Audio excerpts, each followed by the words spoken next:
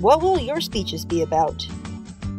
Choosing a good topic goes a long way in helping you to achieve audience engagement and public speaking success. Let's go over the four elements of public speaking and how it pertains to topic choice. Sincerity.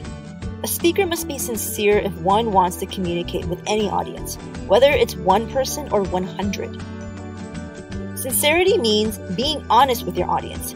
It means you believe in what you're saying, and it means that you believe what you have to say will be of interest and benefit to your audience. Enthusiasm.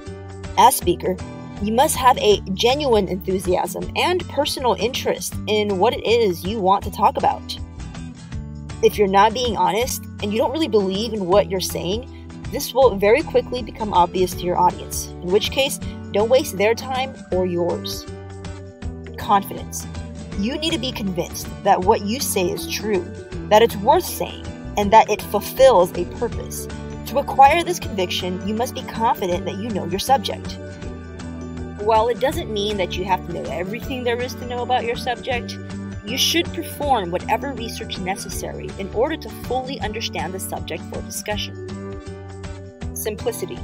A good topic is one that you know about and are comfortable speaking about, keeping your presentation simple, logical, and straightforward.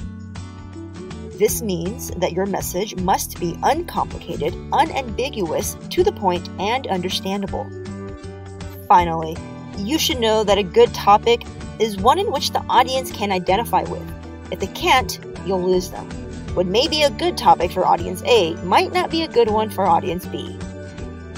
But remember, with sincerity, enthusiasm, confidence, and simplicity, you'll find that becoming a good public speaker can be done.